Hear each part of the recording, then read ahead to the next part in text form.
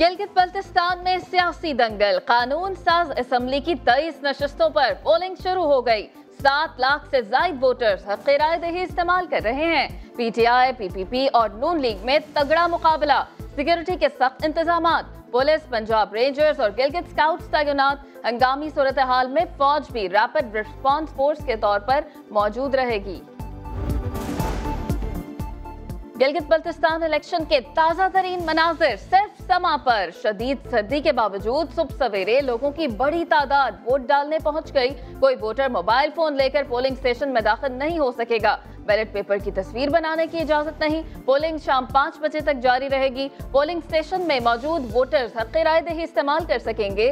Returning officer Naveed Khan का polling station का दौरा कहते हैं कि किसी सियासी जमात से ताल्लुक नहीं, सिर्फ़ शफाफ इलेक्शन कराना चाहते हैं।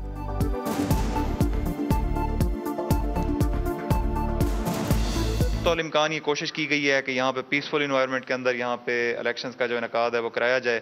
और आप देख भी रहे हैं लोगों का जो जोश वलबला जो लोगों की पार्टिसिपेशन है जहाँ पे जो इंतज़ाम हैं, आपने देखे होंगे। और वी आर होपफुल कि इन ऐसे ही होगा और बेहतर एक मुनज़म अंदाज में यहाँ पे इंतबात का इनका होगा।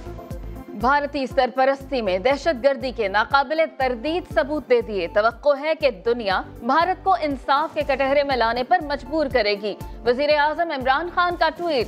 सदर मुमलिकत ने कहा कि कौम बेफिक्र रहे, हुकूमत और सिक्योरिटी इदारे चौकस हैं। दुश्मन के मजमूम मकासद को खाक में मिला देंगे। भुट्टो की नवासी की चौधरीों में बात पक्की हो गई। बख्तावर भुट्टो जरदारी की लाहौर के आरई खानदान के चौधरी महमूद से मंगनी 27 नवंबर को। निकाह 29 जनवरी को होगा। चौधरी महमूद दुबई में सोने और प्रॉपर्टी का कारोबार करते हैं।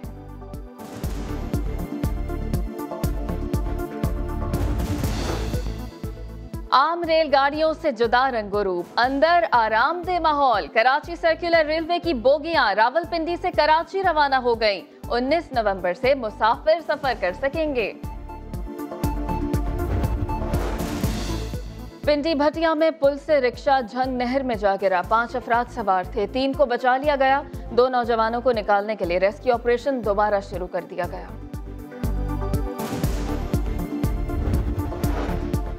तवील खुश्की के बाद अबटाबाद नथिया गली, अयूबिया, हवेलियाँ और दीगर दीगर गलियात में मौसम सरमा की पहली बारिश। सर्दी की शिदत में इजाफा। बारिश का पानी सड़कों पर जमा। ट्रैफ़िक की रवानी मुतासर। महकमा मौसमियात का कहना है कि बारिश का ये सिलसिला आइंदा 24 घंटे तक जारी रहेगा।